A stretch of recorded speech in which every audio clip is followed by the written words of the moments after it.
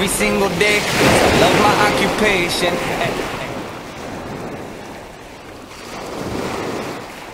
Ну что, я отправляюсь сегодня в Шипси на электричке, на ласточке. Елена, моя подружка, уже там пять дней живет, я еду к ней, э, переночую, а потом утром, завтра мы едем в Дагомыс. Я вам расскажу, как там, что там, почем. Надеюсь, будет интересно. До Шипси я добиралась поездом «Ласточкой». Эта станция сразу после Туапсе. Она такая маленькая, что даже большие поезда на ней не останавливаются. А время в пути около двух часов, а стоимость поездки 531 рубль. После Туапсе Ласочка до самого конца едет вдоль моря, поэтому смотреть в окно одно удовольствие. Главное – попасть местами со стороны моря. Попробуйте взять места с противоположной стороны от туалета и может повести. А в летний период от горячего ключа идет целых пять маршрутов поездов. От Шипси на следующий день мы с подругой поехали до Дагомыса на обычной электричке. Внешне она была похожа на электропоезд «Ласточку», но по стоимости вместо 414 рублей мы заплатили всего 240 рублей за человека. Правда, нужно учесть, что по пути следования электричка останавливается возле каждого столба, подбирая все больше и больше пассажиров, страждущих, уехать из своих захолустных сел приморских на развлечения в Сочи. Когда мы выходили в Дагомысе, мы буквально протискивались сквозь толпу. В отличие от «Ласточки», в электричку не продают места, поэтому многие едут стоя, да еще и счастливы. По большому счету, это морское захолустье. Находится село в устье реки Шипси, который переводится с адыгейского языка как старечная, ну, по другим данным, как молочная река, безводная. Поэтому после дождя река приобретает такой молочный цвет. Село находится на расстоянии 13 километров по шоссе или в 9 километров по железной дороге на юго-восток от Туапсе. В селе проживает около 4000 человек. Ну, а сейчас меня Лена ведет к себе домой, где она снимает свое жилье. Вот идем мы мимо рынка, который находится возле ЖД вокзала. Что касается цен, ну, в общем такие же, как в горячем ключе, помидоры, там 130, а персики по 200. Ну, кстати, у нас сейчас они по 150. Все остальное, в общем-то, обычные курортные цены. И, кстати, здесь дорогая была черешня. У нас она уже по 150, 120 можно взять, например, в горячем ключе. Здесь она по 250. Ну, как все, как всегда. Набор джентльменский, как на всех рынках. Все есть. И чурчхела, и фрукты, и овощи. Вот мы сейчас их рассматриваем. Э, конечно же, тут же поблизости и всевозможные кафешки. Ну, сейчас мы прошли мимо там шаурмянной. И ее жилье, оно находилось очень недалеко, прям совсем близко к, к ЖД вокзалу. Я думаю, гулялся не Свободные номера, значит, здесь будем жить. Понятно. Вот здесь, На первом этаже? да, первый номер. Находим. Номер один. Добро пожаловать. Добро пожаловать в наши апартаменты. Вон твои лежит. все. Апартаменты закончились. 600 рублей. Значит, это вот сюда, да, мне ложится? Ну, Будет? да, Да, и да. вот видишь, все дали. Мгм.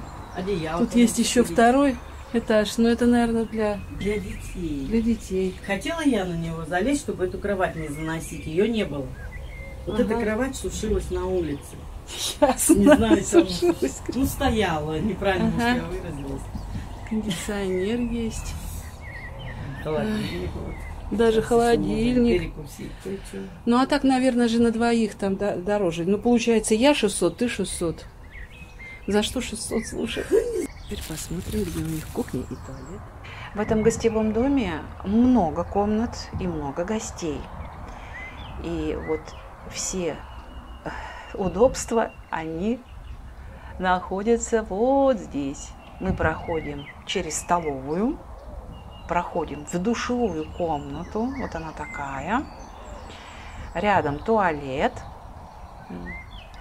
и есть мангал, и есть место для приготовления пищи. Ну, казалось бы, что еще нужно? Ну, что касается самого главного, ради чего приезжаешь сюда, это пляж и море. Ну, надо сказать, что добираться до самого моря, я бы сказала так, странно. Ты идешь на железнодорожный вокзал, если у тебя сумка, ты ставишь ее на ленту, она проезжает по ленте, ты проходишь через рамку, потом выходишь из вокзала с другой стороны, переходишь через железнодорожную линию, там такая есть калитка, и по маленькой дорожке спускаешься к морю. Вообще. Момент такой странный. Ой, да ладно. А, пляж сам галечный. Что касается а, стоимости лежаков. Лежаки стоят 200 рублей, и зонтик 300. И вот эти вот стоят зонтики с лежаками, ну, соответственно, 200 плюс 300. И э, вообще я считаю, что вот эти зонтики смысла не имеют, потому что солнце постоянно движется, и тень уходит, и в конце концов, э, смотрю, эти лежаки, они вообще все под солнцем. Какой смысл от этих зонтов? По 300 рублей вообще никакого. Хороший там навес есть. И вот там можно поставить лежак, кому нужна, нужна тень. Ну, мне, например. Э, Я брала лежак, и вначале я хотела просто там расположиться под навесом. Ну, например, это было возможно на той же Архипо-Осиповке или на другом пляже. Ты просто заползаешь под навес со своим одеялком, скажем так, ложишься на него и прячешься таким образом от солнца. Можно лежак не брать. А тут нет. Либо ты берешь лежак, либо иди отсюда, вон туда, на солнце жарься. В общем, жадные они. Шипсе – открытое море. И благодаря этому вода редко бывает мутной. Но бывает. Вот на э, тот день, когда я там была, она была мутноватой у берега из-за большой волны. Но волна была у берега, а когда ты так проплываешь дальше в море, там вода прозрачная. И она удивительно бирюзового цвета. Вот даже на следующий день а, мы поехали в Дагомыс, она там другого цвета была. Вода тоже хорошая, но не, не такой обалденной красоты и бирюзовости. Просто такое ощущение, что туда капнули бирюзовые краски, и даже не верится, что это вот спектр просто солнечный так дает такое освещение этому морю. Ну, бирюзовый, просто налюбоваться не можешь. Очень красиво. Ну, вы знаете, вот возле берега, конечно, было мутновато даже не только от э, мути, которая шла со дна, но, к сожалению, и мусор попадался. Прям какие-то пакеты были, я так рукой отодвигала. И, ну, вообще неприятно. А, вот я говорю еще раз, на глубину идешь, там, там хорошо, там хорошо плаваешь. И надо сказать, что вот наша соседка, когда мы пришли домой, пожаловалась, что ее дети подхватили на пляже ротавирус. такая печаль тоже может случиться. Ну, кроме вот этого центрального пляжа, говорят, что можно пройти на пляж пансионатов, например. Там, наверное, поцивильнее они. Вот. А если пройти в сторону Туапсе, то можно, говорят, найти немало симпатичных мест для уединенного отдыха.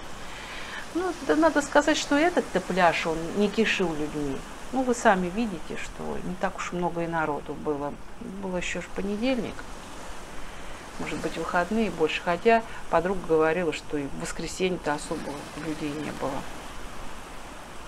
Итак, наступило время обеда. На побережье стояла вот такая столовая. Вот видите, там раздача, она пустая. Там нет ничего, но, видимо, из-за того, что народу мало, там ничего не выставляют. А происходит это таким образом. Ты садишься вот на такое место с видом на прекрасное море. тебе подходит официантка и перечисляет, что есть из первых, вторых и третьих блюд. Вот мы заказали лапшу с курицей и борщ. А, ну, борщом это назвать было трудно, потому что это был не борщ. Это был какой угодно суп, но это был не борщ. Мясо там отсутствовало. Но на вкус был неплохой. В общем-то, и вот я показываю по консистенции он вроде не жирненький был, но мясо отсутствовало полностью.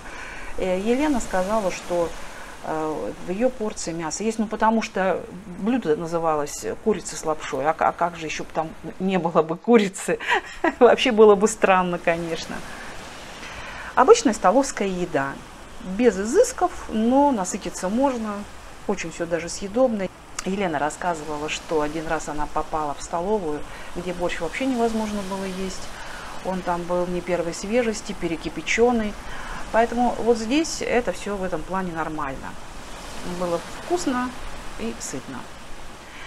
На второе нам принесли э, значит, мне макароны с тефтелями, а у Елены была картошка с котлетой традиционная. Мясо, похоже, использовалось одно и то же, что для котлет, что для тефтели. Оно было таким остреньким. Вот почему-то подливы даже никакой нет. Но мне повезло, у меня немножко подлива была. И э, тоже, в общем-то, неплохо, несмотря на то, что острое мясо было. У нас такое было подозрение, что, возможно, забивается перцем несвежесть продукта. Но вроде бы как ничего. Тоже было неплохо. Для столовой, еще раз повторю, очень даже неплохо. Ну а на третье нам принесли ситро. Вот уж ситро очень понравилось. Я думала, что сначала увидела большой стакан, думаю, ну куда так много, а потом поняла, что такая вкуснятина, холодный, запотевший стаканчик. Во время жары, ну просто одно удовольствие. Поэтому ситро очень вкусное. Ну и вот там вы увидите на чеке, во сколько это обошлось. Ну, немножко так об истории Шипси что я нарыла в интернете. Вот пишут, что в стародавние времена это место называли имение Шипси, и оно отмечено на карте военно-топографического управления, изданной в 1905 году и расположено на правом берегу Шипси. В настоящее время это пансионат с одноименным названием. На момент составления карты село Шипси на карте не отмечено. Имение же принадлежало генерал-лейтенанту Петрову. Это был товарищ мини, э, министра путей сообщения, теоретик развития железнодорожного транспорта в России, автор нескольких трудов по транспортным железнодорожным сетям. В списках землевладельцев за 1910 году Петров Александр Павлович владел 1896 десятинами земли в селе Вильяминовское Туапсинского округа. Отзывы в интернете об отдыхе в Шипси разнятся очень сильно. Одни говорят о том, что им очень понравилось, другим говорят, что э, возмущены. Я думаю, что в первую очередь это зависит от э, цели путешествия или от цели отдыха. Надо сразу отметить, что тем, кому нравятся тусовки, аттракционы, активная ночная жизнь, Курорт, конечно же, покажется скучным. Ну, там ничего нет. Это такая деревня. Ну, там здесь деревень нет на Кубани. Ну, прям село-село. Шипси – это место для любителей тишины, спокойного пляжного отдыха, трекинга и созерцания природы. Сидишь, смотришь на закат, мечтаешь о своем. Ну, хорошо. Потому что, ну, какая разница? Море, оно везде одно. А вот что к этому морю прилагается, это уже другой вопрос. Это первое. Второе. Я заметила, что в отзывах присутствует такая вещь. Например, если люди снимают жилье в гостиницах или в гостевых домах, то э, отзывы лучше. Отзывы неплохие, они отмечают и обслуживание, и комфорт какой-то определенный. Что касается снятия в частном секторе, то там проблемы. Вот как раз там проблемы. То есть там вообще за качеством, за этим никто не следит, не смотрит. Но там и цены ниже, чем в гостиницах. Поэтому если люди приехали просто отдохнуть пару-тройку дней, отдохнуть, наверное, им и достаточно и этого непритязательного отдыха. Ну и, конечно же, все еще и зависит от денег, которые человек может захватить. Может быть, ему просто достаточно позагорать, и ему комфорт не нужен. Ну, тогда вот, конечно, частный сектор. Что касается инфраструктуры, в 2001 году был построен детский оздоровительный лагерь «Юность». Вот тот самый, куда и направлялись детишки из «Ласточки». В Шипси есть детский сад, детская поликлиника, участковый терапевт, процедурный кабинет, отделение стоматологии и также станция скорой помощи. Ну а вот что касается инфраструктуры для отдыха, здесь она на любой вкус. В Шипси находятся санаторий «Смена», пансионат «Маяк», «Луч», Шипси, база отдыха «Энергетик», пансионат «Юбилейный». Есть множество гостиниц. Э, ну и легко разместиться в частном секторе. В непосредственной близости высятся горы, ущелья и, говорят, шумят водопады. Вечером после пляжа мы с Еленой пошли прогуляться по Шипси. Вот сейчас вы увидите окружающее пространство, по которому мы шли. Мы, значит, шли, шли, шли, дошли до трассы федеральной, повернули, шли вдоль трассы. Вот как расположен поселок вдоль трассы, так мы и шли и дошли до пятерочки. Ну, вот это расстояние и составляет полтора километров. То есть вот на протяжении вот этого всего пути большое количество разных пансионатов, санаториев, вот мы, мы, мы идем, смотрим на них, и как раз э, частный сектор также сдает э, свое жилье. Но это вообще далековато. Ну, представляете, полтора километра туда-обратно. Ну, говорят, что ездит на такси. Мы обратно из пятерочки добирались потом на такси до нашего э, вокзала. Отдали 100 рублей. Мы же отдыхать приехали. Ну, 100 рублей как бы не так много. Просто заложить эти траты надо на то, чтобы добраться э, до дома. Я думаю, ничего страшного нет в этом. После похода в магазин мы пошли провожать солнышко, любоваться великолепным морским закатом. Любуясь на него в такие минуты, ты забываешь обо всем. Мир прекрасен, и появляются всякие философские мысли о смысле жизни. Ну что ж, поделюсь ими с вами. Некоторые, может, из увиденного ролика моих рассуждений о бедности Шипси посчитают, что, мол, вот какая фифа, комфорт ей подавай. Ведь главное – это море, там можно проводить время, лежать сутками на пляже, а домой приходить только ночевать. Ох, наверное, некоторые этого реально хотят. Особенно, когда много работают в холодных условиях Сибири или Севера – когда на небольшие зарплаты нет возможности снять достойное жилье, а солнце и море так хочется. И все это очень печально. К сожалению, наши большие расстояния в России до места отдыха отнимают львиную долю бюджета на отдых. А дороговизна съемного жилья порой необоснованного и того подавно. А ведь еще и поесть нужно по дорогим курортным расценкам. Поэтому еще с советских времен у многих и сформировался незатейливый спрос на Коморское море. Меня лично это тоже не обошло. Я всегда жила трудно, воспитывала сына одна, поэтому, поэтому отдых на море у меня не получался и был под запретом. Я довольствовалась малым, а именно отдыхом в селе Яровое Алтайского края. Это в лучшем случае.